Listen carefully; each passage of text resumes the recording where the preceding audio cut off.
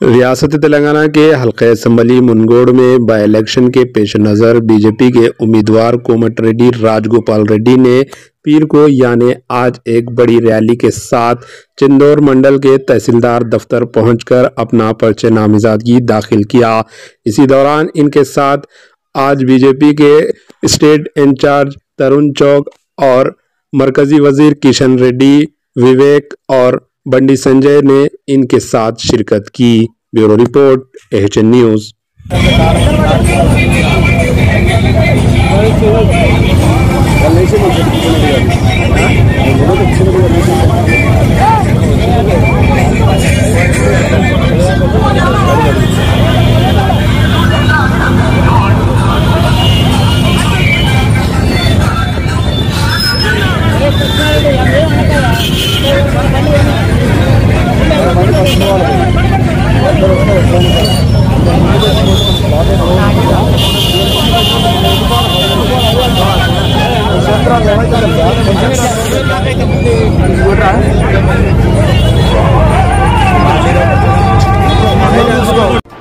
H news को like करें share करें और सब्सक्राइब करना ना भूलें।